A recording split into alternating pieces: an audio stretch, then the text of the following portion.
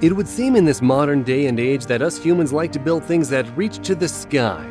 However, it goes without saying that humans have probably lived in underground places and caves since ancient times, escaping harsh weather and other things such as invading armies, building downward deep, intricate tunnels, waterways, and entire underground cities that will amaze you.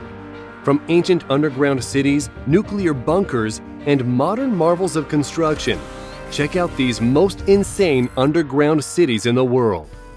Derinkuyu, Cappadocia, Turkey. Back in 1963, a man in Turkey was making room for an extension to his house and was digging out part of a stone wall when he was surprised to find that there was space behind the wall. In fact, he found more than 300,000 square feet of space. The man didn't know it at the time, but he had stumbled across what is now recognized as one of the largest subterranean cities ever found in the world. It is located almost exactly in the center of Turkey in the region best known as Cappadocia, which is in the modern town of Derinkuyu. This ancient multi-level underground city built somewhere between 1600 BC to 1200 BC extends to a depth of approximately 250 feet and it could accommodate up to 20,000 people. It had everything that an entire population needed to survive a history that was riddled with invasions. Inhabitants of ancient Anatolia realized that they could cut into the soft but stable volcanic rock. This city has an enormous 18 levels with kitchens, bedrooms, bathrooms, food storage, oil and wine presses, wells, weapon storage, and even tombs and domestic animal stables. The city was built to withstand invasions and large stone doors could be rolled into place to close off tunnels. But the stone could only be moved from the inside. Holes in the doors meant that arrows could be shot at trespassers. This underground city is still currently open to the public, but only the first eight levels can be seen. Edinburgh Vaults, Scotland. While not really a city, somewhere beneath Edinburgh, Scotland is a series of chambers which were formed in the 19th arches of the South Bridge, which was completed in 1788. For 30 years, the vaults were used to house taverns, workshops for tradesmen and cobblers, and also serve as a storage space. But as the years went on, these vaults became a shelter for homeless people and criminal activity. Conditions deteriorated because of poor air quality and the dampness of the area. However, businesses started to leave, and the very poorest of Edinburgh's citizens moved into the vaults. However, no one knew that the people even lived in these creepy dark vaults until 1985, when excavation uncovered toys, medicine bottles, dishes, and other signs that showed humans were there.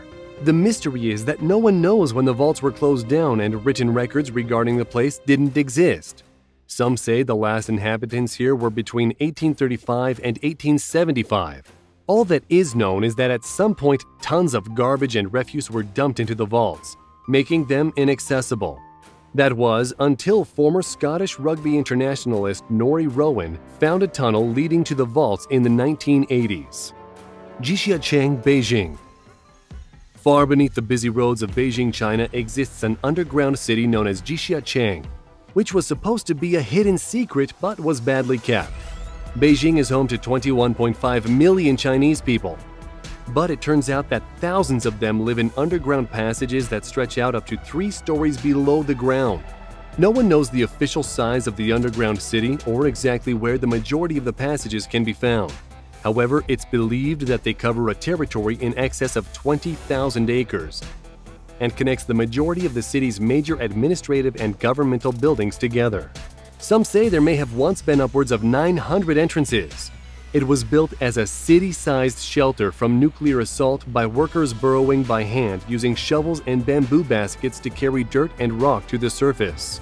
Work started in 1969 and the Mystery City kept on being extended through to 1979. By now, you are wondering why the city was built.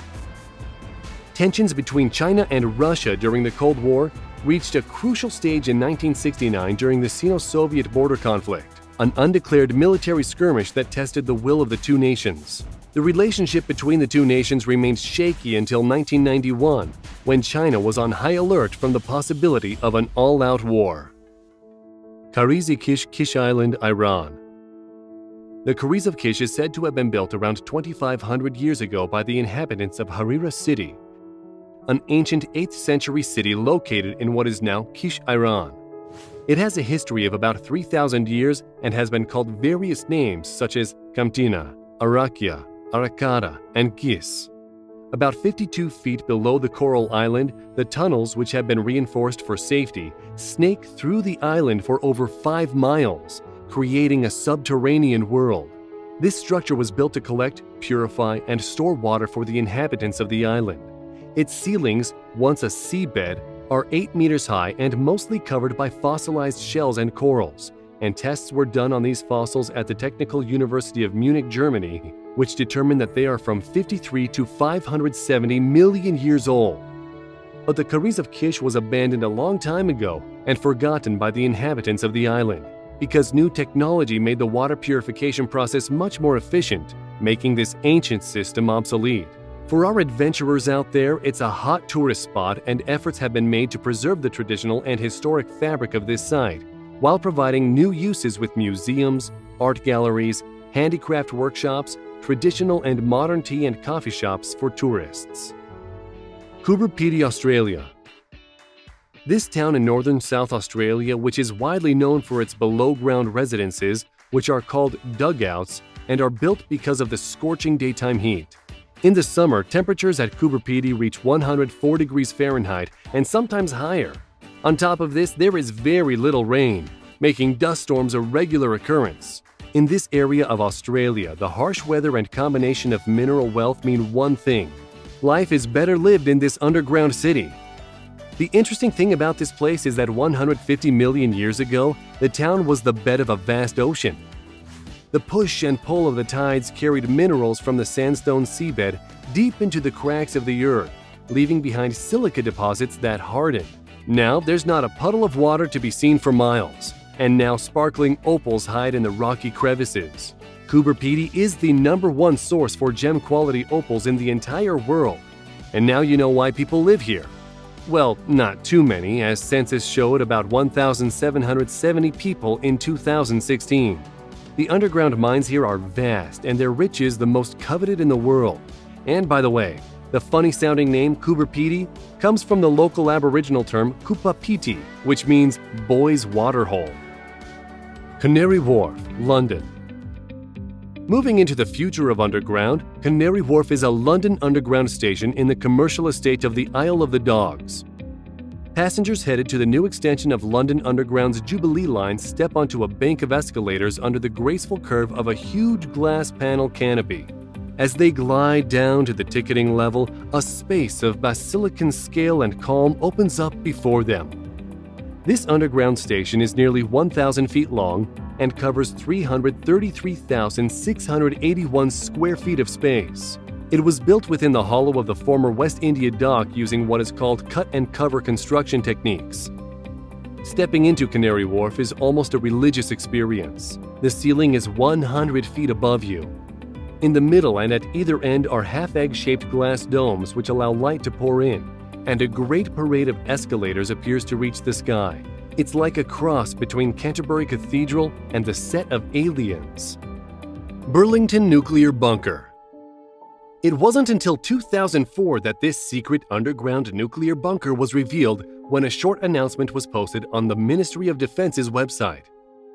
The announcement said a formerly secret government underground site near Corsham in Wiltshire, which was a potential relocation site for the government in the event of a nuclear war, was declassified at the end of 2004. It was the first official acknowledgement of what can be called an urban fortress, which lay beneath the English town of Corsham, which for 40 long years remained a secret of the British military. Construction began in 1955 and the Central Government War Headquarters was commissioned. It was built inside of a 240 acre quarry which was previously abandoned using 100 feet deep reinforced concrete walls. It was a big underground city with 35 acres of hidden entrances, streets, canteens, and purpose built rooms to house British officials and even the royal family in the event of a nuclear attack. In fact, it could accommodate 4,000 staff with everything needed to survive a nuclear attack for 90 days. Underground City of Helsinki Finland is part of the European Union, but not NATO, and Russia has previously made thinly veiled threats if the Finns were to join the US backed military alliance. So, what to do? Build an entire underground city to serve as shelters for 750,000 people, more than the entire population of Helsinki above. Beneath Helsinki's surface lies around 500 separate underground facilities and 186 miles of tunnels that snake their way throughout the city. It is one of the most elaborate underground systems in the world and includes car parks, railway tunnels, wastewater treatment plants, shopping malls, swimming pools, and even corporate data centers. But in the event that this place needs to be used as a shelter, the Finns have set themselves a target of 72 hours to turn these areas into safe places. It has state of the art air and drinking water filtration systems, toilets, beds, and food supplies. At a max capacity of 750,000 people, which is unlikely to happen, they could survive for 14 days with the water reservoirs and stocked food supply. Setenil de las Bodegas, Spain, one of the first things you start to wonder about when looking at the photos of this unusual place is how in the world did those giant rocks end up on the top of these dwellings? Welcome to the town of Setenil de las Bodegas, where 3,000 people literally live under a rock. It's hard to believe, but people have chosen to live here for practical reasons. Instead of building an entire house to keep it cool in the summer and warm in the winter, these people built facades in front of the rock, to the point where it looks as if the rock is eating the buildings. It is said that people have been living here since prehistoric times. An interesting fact the name of the city comes from the Latin words septem nihil, which means seven times no, and refers to the seven times the Catholic rulers tried to take back the territory from the Moors. The word bodegas, meaning warehouse in Spanish, comes from the locals who store local produce here in the large, cool spaces.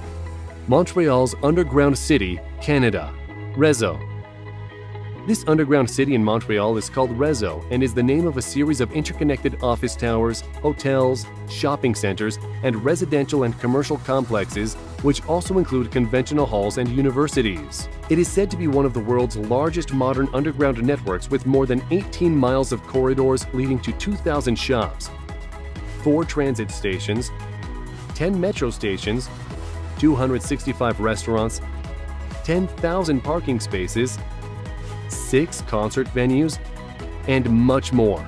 The city is supposed to sit more than six feet below ground and more, and was built because of the weather. Neither rain nor snow can reach any part of this city, and there are no red lights to deal with either. The city is so large that it would take several days to explore everything, and it is said that 500,000 Montrealers visit the city every day. We hope you enjoyed the video. We want to know which one of these was your favorite. Let us know in the comments. And if you like the video, don't forget to share it and click on subscribe and turn on notifications so you'll know when we release a new video.